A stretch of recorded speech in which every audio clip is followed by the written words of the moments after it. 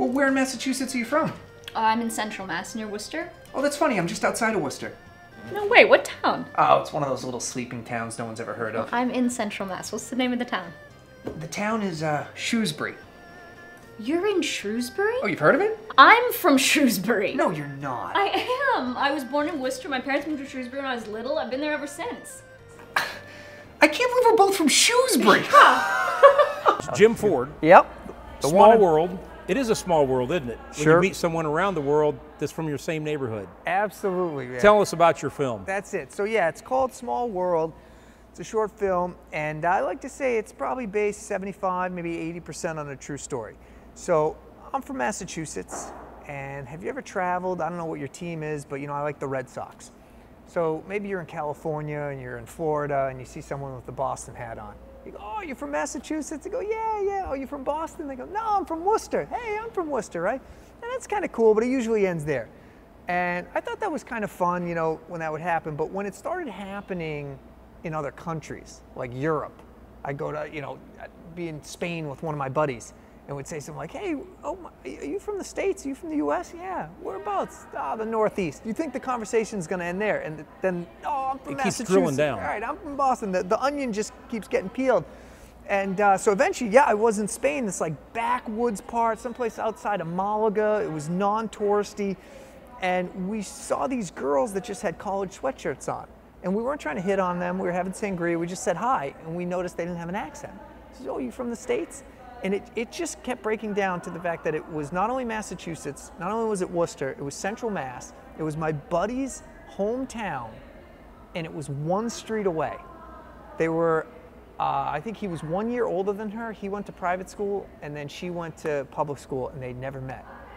And so, so uh, to me, like with social media and everybody saying they're connected, it's sort of profound that people have to go so far to meet their neighbors nowadays. Right. You know what I mean? I mean, that is a great analogy. You have to go so far to meet your neighbor anymore in today's times. Yeah, yeah. Everybody Right. thinks they got friends and they're all connected, but they're so distant from these people that you have to travel. And so that's what we wanted.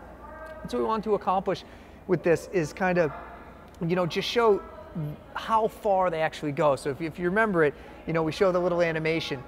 Um, but we're kind of proud of the, the bar and the scouting process. You know, I, I've made about 25, maybe 30 short films over the years. And so we always kind of have some on the back burner. And with this one, you know, we had the idea, we had the script, everybody kind of liked it. And Hannah Sloat, who's a Broadway actress, mm-hmm. she's Yeah. Oh, fantastic. yeah. I mean, you were wonderful. Oh, thank, thank I you, mean, thank real. you, I, yeah. you know what? I, it'll probably inflame someone, but you really stood out. Oh, that's, that's you crushed kind. it. I don't know if it was because you were in that power third of the screen. I don't know, Maybe. but you crushed it. I took direction very well from, Okay. from the director. well, you did right? a Yeah. wonderful. I mean, you came up against a great actress. Yeah, she's and you really- you killed it. She was really nice. You Thanks- guys both just hit it home. Well, thanks so much for saying that because, you know, her coming from theater, you know, I, I went to school for theater and studied Shakespeare and all that. And some people don't like to use theater actors, they think they're too big. With me, sometimes a film actor, you know, everything's just, uh huh. And, and they can be good, but if I get a theater actor, I know I know they they've got the chops. I know that they it's, it, memorization isn't even an issue. That's that starts way back there. Then the work can be done, and so we were able to rehearse. And I said I don't want us to be thinking about the stuff. It's got to be there so all the subtext happens. And so we started doing rehearsals, and you know we got this guy, the cinematographer uh, Tony Shia. He's fantastic. He he likes comedy um, but he likes to direct and, and he makes a living shooting all these commercials and stuff. He's done like Tom Brady commercials and everything. Oh. And but you know if it's comedy, he likes it. So I sent him the idea. He's like, oh man, I'm on board. And so we had this great crew. We had the actress. We need the location. And I said, you know, I don't want to rush this. I don't want to use like my uncle's pub. Right. I don't want to use like, I don't want it to look like your buddy's neighbor's you know, Right. bar, and then we just put a Corona sign up or something. It's got to feel foreign. It's got to feel far away, too. Like not just Mexico. Like I want this to be like an obscure island that no one really knows where it is. And so we actually scouted probably 70, 75 bars, maybe even close to 100 bars before we a heard yes, but found, you know B found one that we liked. There was a couple sushi places that had cool service bars that might have worked, but they they said no. They, they didn't like our insurance or our, Right. our generators or something. But um, we did find this bar in East Rutherford, New Jersey. Uh, and it's not like we were looking, you know, every day, but we just said when we when when Well, it you went to feels right- 100. Yeah, we did. We- So that's you know, Uh, over the course of it, that's probably being a trooper. Yeah, Mass- we looked Massachusetts, Connecticut, upstate New York, like Long Island, all over the place, and it was in East Rutherford, New Jersey, near MetLife Stadium, which is the Meadowlands, kind of a weird area, and it was a tequila house, H A U X, tequila house. So it's tequila German place, and then upstairs was a service bar that was from Thailand. Or something. Oh, so I was cool. like, th- it- it- Yeah. it's not only is it foreign, but it's ambiguous. It's just like you can't quite tell where it is, but it's just way out there. And so we were just out to eat, and my wife's like, "You should, you should ask. Like, just go ask." And I was like, "No, these guys look like super serious. This is like a really expensive, you know, big restaurant. They're gonna, no, they're gonna kill me. Just go and ask." And so I walked up and, uh, you know, I approached the owner, and he was like, "Oh my gosh!" He's like, "My wife is an artist. She'll love this idea. Where, where do you want?" I was like, "Oh, the upstairs bar. Go talk to my wife." And she was like, "This is great." And she actually helped. She opened up on the day off or early because I think they opened for dinner, so she opened up before. And she uh, she did some of the set decoration and put some brought some you know uh, Buddha statues and all this. It was just really enthusiastic.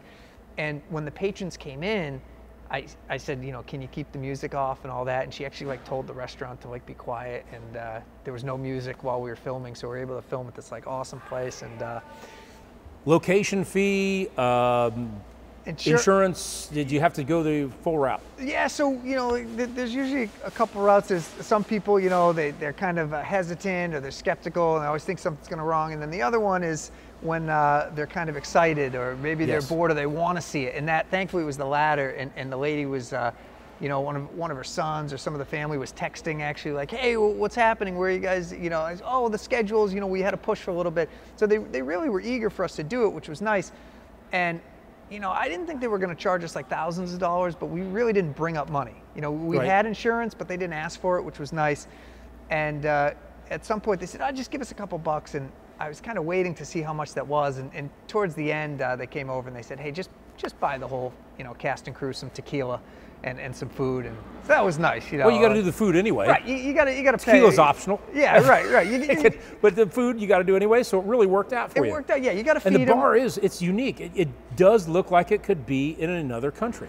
Right, and that's that's And that, that the wanted. collars and this, yeah, it was great. Like, like the further, the further away you could feel like these two people meet, the better. You know, and it's like I said, we didn't just want it to be Europe or Mexico. We want it to be like, what is the furthest place you could get to? Like, I want you to take two planes, three planes, a bus, you know, a boat to get to this bar. You know, where your escapism, and, and then you bring it back. And so, thankfully, you know, when we found this, we probably would have would have given them a lot, and thankfully they were just really enthusiastic, and uh, we, we all had a good time. I don't, I don't know how much the bar bill was. It wasn't a thousand, but but we had we had some tequila. Well, that's and- okay. And, and, we had some fun. and you have memories. Uh, yeah, yeah, we, we had a lot of memories. I think everybody had a good time, and some of my family was able to stop by and, and check it out at the beginning. And you know, like I said, they they kept the music off and everything so we could film. But uh, one other cool little detail about it, I want to make sure I told you, was just to this extra layer because we knew the the script. I don't want to say like, oh, it was so perfect or anything. It was just so cute. It was just so packaged. Like the idea was mm-hmm. just show was so short and sweet.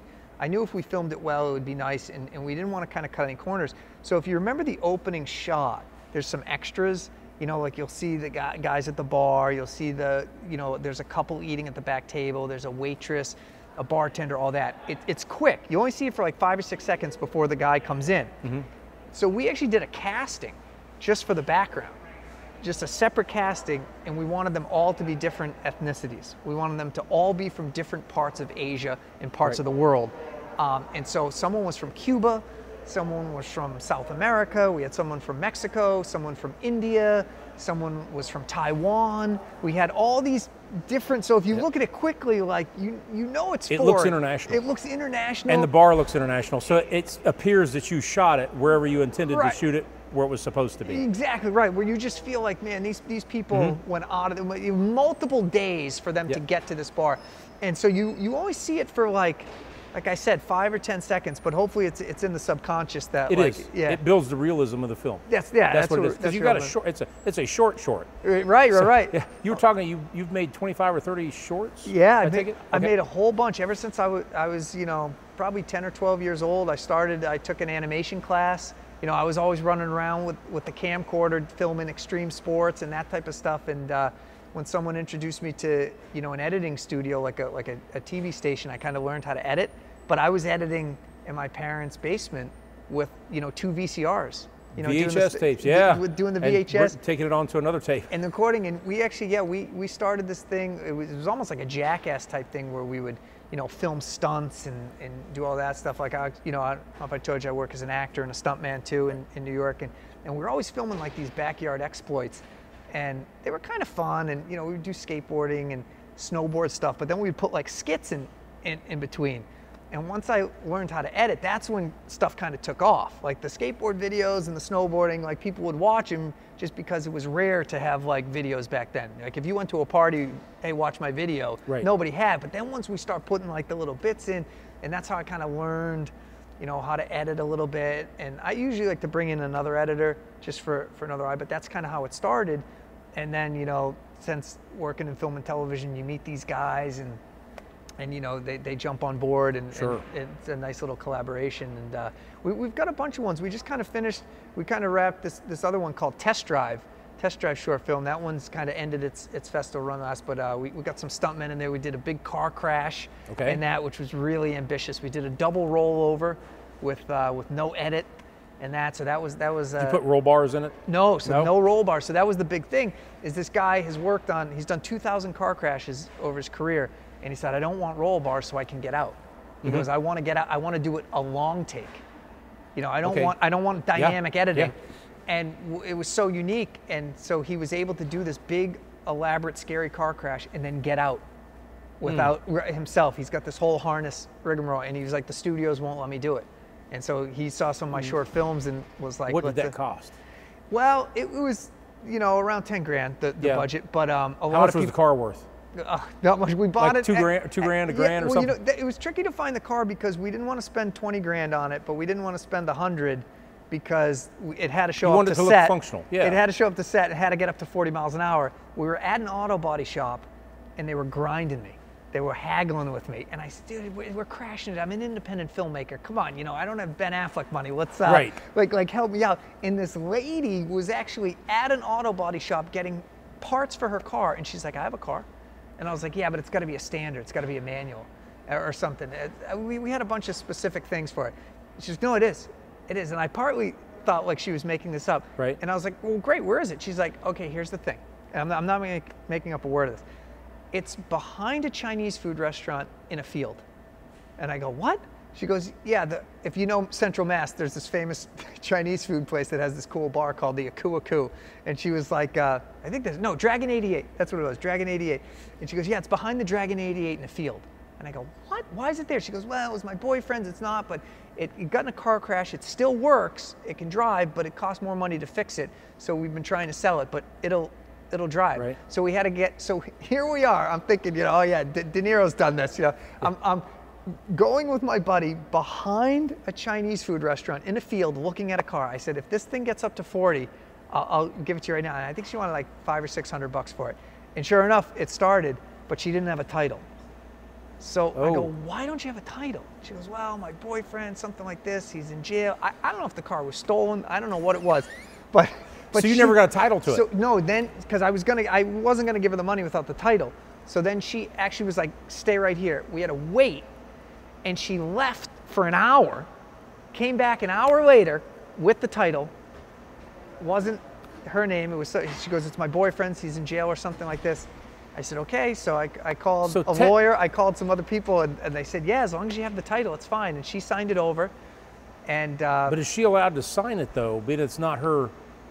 I It, it'd be like a quick claim deed. You'd be able to sign off on someone else's property, like be someone finding your title to your car and just, Right. hey, I'll sell it. And she, well, she had the guy's driver's license. She had, she had all the stuff. And so I called. Oh, I call- like it. Yeah, I called. I like it. I called Yeah. the lawyer. I said, "Is this okay?" And I called. It's got some ice. They said, "If you got the title." But what we did was we actually had to drive it to my parents' house illegally because it didn't have plates. So we sandwiched it.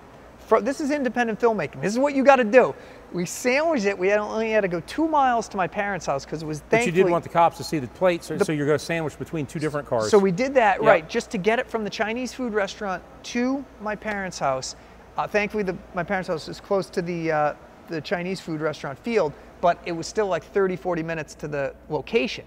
So, but I had to keep it at my parents' house until we could get everybody's schedule, till we get the stuntman schedule, and then so we kept this car. And my dad's like, he goes, James, for crying out loud, you know, I'm living in New York, and he goes, how many people have got a potentially stolen car? You know, he's like a firefighter, he's by the book guy, and he goes, I, I go, just a couple weeks, that's it. He goes, you got two weeks, and then uh, so sure enough, then we had a tow truck come, we towed it from there Right. to the location. And the guy was all about. it. He's like, I want to help out on this. This sounds like an awesome endeavor. So were you on a government road or a private?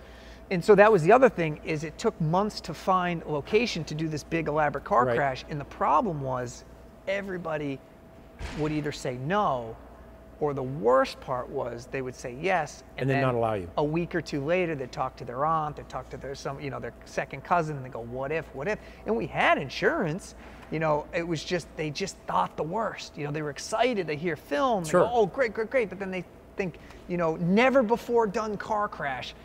Then they got they would get cold feet and they, would say no. And then finally, a high school friend was like, "Hey, man, I, I know this farmer. She inherited a bunch of land, and she's just kind of like hanging out. Like I'm sure she and she had like a hundred acres, maybe even 200 acres of land. And she was like, absolutely.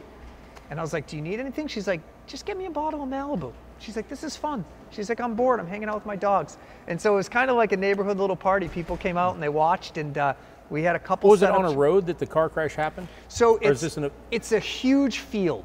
Okay. Yeah, like a like a, a farm like a farm that Right. Mm-hmm. they're not using, and so he was able to get up to speed and do it, and it, it's really kind of cute because I don't want to give too much away, but it's Don't. it's Yeah, a, don't it's- give it away. It's Just- a, it's a stunt man who's test driving a car. You know, I think everybody's going to want to see it now. Yeah, yeah, yeah. And so Because it's the backstory to it. it, it's got a fun backstory. A lot of work went into another. It's only three minutes, but it's on jimford.com. You can go on my website, or just you could probably Google test drive short film, and and it'll come up. And it's just action packed. It's so fun. But I believe never before seen stunt where the guy does a double rollover and gets out. And then there's, there's we Yeah. got some some cool little endings. And uh, so yeah, we did it at the field. Everybody came out. She only wanted some Malibu, no issues. And then the, the tow truck guy was like, "Hey man, just give me a call when you're done." He's like, "I, I kind of want to be a part of a scrap film." the car. Yeah, and he, You, I don't and know. you probably got your 500 bucks from the scrap. yeah, he, well, he, that was his payment. Yeah? He, he, Okay. took, he did it for free. And so okay, he so he took it there and then took it away. Yeah. So $500, great car crash scene. Yeah. No CG. No, no, that's This it. is the real No- deal. No, How many cameras did you set up? So we had a whole bunch, but that was that was the thing. Is I go, it's one very take. tempting. It's one take. We have five, all these things, but that was the stunt driver's request: is no edit.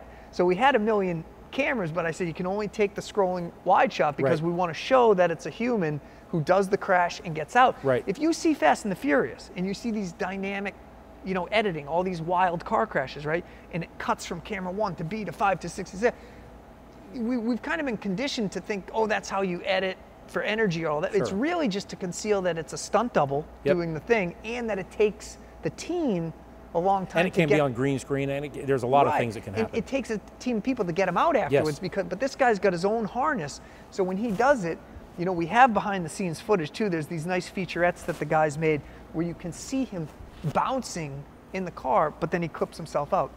Would you put a GoPro in there? And yeah, so we have them Yeah. hidden in the back. It's not part of the film, but it's like just, It's just in to there. show. That's great. in Do you have that up the- any online? Yeah, those are all all Okay. up there too. I have a, a press kit on my website, you know, on jimford.com. You can actually see test drive, and then you can watch, and there's behind the scenes footage, and we have you know stills and all that, just so you can tell that it that it is real. Because there's some people that watch it and they still think it's fake. They think like, oh, did you shrink it? Is it a model car? I've heard everything. I go, no, you really, he really did it. So that's that's our um, one of our fun ones. And then the, the one that we just finished though, which uh, maybe next year we'll, we'll screen, is called A Boat Time. Okay. A Boat Time, and it's a short film that takes place completely on the water. Okay. So we have open water, and it's a it's a fisherman who's alone. He's enjoying the perfect day until ship happens. okay. Until So hap- ship happens. Until ship happens. So it's a, that's Well, another. we'll be looking forward to that. Thanks, man. Another short comedy, and it's very visual. Right. And another challenging shoot because we had to film on the water, so we had to get scuba divers, Yep. second boats, third boats, all this stuff. But just just to bring you, you know, I love independent filmmaking, and nothing against a conversation in a hotel room or a conversation, but like I wanted to the setting. You're trying to emulate the bigger films. Yeah, and I And in I- order to do so, you have to take risks like you did with the rollover in the car, the way you got it there and everything else, and also push the limits. push the limits right. I want it to have a big budget Yeah. feel, which it does because we have these amazing opening shots, but I also want it kind of the location itself to be the star Right. of the show, not just the, the comedy or the writing or the, uh, the characters, but like, you know, visually, I, I feel like it's entertaining for you to be like, wow, uh, th- for the next five minutes, I'm going to live on the water. Right. You know, it's not, e- not, not the average person would be willing to go through the, uh, the lengths to What get there. So, so I feel like Yes. there's the, another level of engagement when people Yeah. kind of respect that. Like, wow, how did you film there? How did you get this? And uh, so we, we did that. It was a two day shoot, and uh, yeah, that was a cool one. A boat time. So that, that'll be the next one. Check it out, jimford.com. That's a really great name, by the way. Pretty all American, right? It is. Yeah, it's all yeah. American. It's easy to remember. Yeah. Jimford.com. Check his films out. Yeah, and uh, keep an eye there. on this guy because I think he's going places. He's already been places. He's going more places. That's right. That's right. Right. We'll be making some more stuff. Yep. Thank you. Well, hey, pleasure, man. Thank you. Yep.